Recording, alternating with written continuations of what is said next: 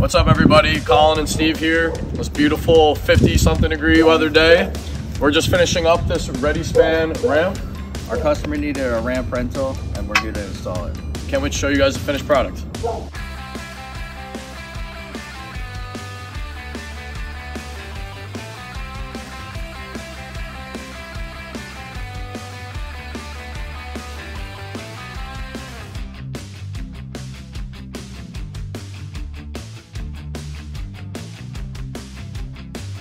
All right, it's all cleaned up, all ready to go. That's it, it's the finished product. You need a ramp rental? Give us a call anytime.